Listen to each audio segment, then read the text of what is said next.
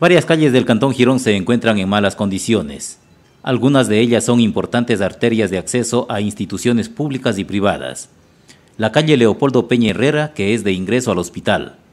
La Luis Monsalve Pozo, de acceso a la Escuela 27 de Febrero y al Banco Nacional de Fomento. La calle Jorge Araujo, de ingreso al Colegio Rafael Chico Peña Herrera y la Agencia Nacional de Tránsito. De la misma forma, la calle Alberto Peña Herrera que da al frente de la Unidad Educativa Especial Municipal Girón. Otras calles que circundan al complejo deportivo de Pambadel, aunque fueron intervenidas hace pocas semanas, muestran igualmente deterioro. Frente a ello, se planteó una posible solución ante el público que asistió a la socialización de los trabajos en la vía Cuenca Girón Pasaje. El subsecretario del Ministerio de Transportes y Obras Públicas, Gonzalo Cobos, mencionó. En ese sentido también hemos coordinado con la municipalidad, con, con José Miguel, para hacer la entrega de material fresado para que él pueda estabilizar algunas vías y adecentar algunas vías pertenecientes a este cantón.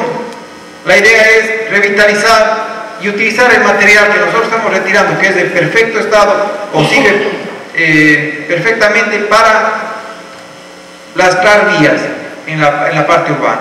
En ese sentido estamos trabajando de una forma coordinada, también estamos haciendo la gestión para ver si podemos incluir en este proyecto el ingreso hacia el hospital. La idea es dejar